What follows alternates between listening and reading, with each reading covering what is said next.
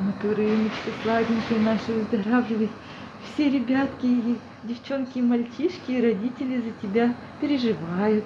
Алине всего 11 месяцев. У малышки черепно-мозговая травма, отек мозга и перелом носа. Девочка в искусственной коме. Дыхание поддерживает ИВЛ. Сегодня ее должны были из этой комы выводить, потому что было уже два э, исследования КТ, которые показало положительную динамику. Но когда как бы, отключают препараты ИВЛ и не дают лекарства, она начинает э, дергаться очень сильно и убирать трубочки, и они снова ее усыпляют. Тяжелейшие травмы малышка получила в одном из отелей Бангкока, куда она поселилась вместе со своими родителями перед перелетом из Таиланда в Россию. Папа находился за границей по работе. Несмотря на свой возраст, Алина уже бойко передвигалась на своих ножках, но для равновесия нужно было за что-то держаться. За стол в спальной комнате удержаться не получилось. Мраморная столешница упала прямо на голову девочки. Ты куда хочешь побежать?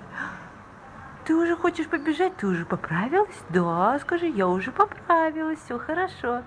Я уже вам язычок показываю. Вот уже вторые сутки врачи международного госпиталя борются за жизнь маленькой пациентки. Только за день лечения частная клиника выставила родителям счет почти на 1 миллион рублей. Но они смогли положить на депозит все, что у них было, почти 200 тысяч рублей. От отчаяния мама девочки была вынуждена обратиться за помощью в социальные сети. И ее услышали. Сотни пожеланий о скорейшем выздоровлении девочки. Только за сутки удалось уже собрать почти 3 миллиона рублей. И помощь продолжает приходить.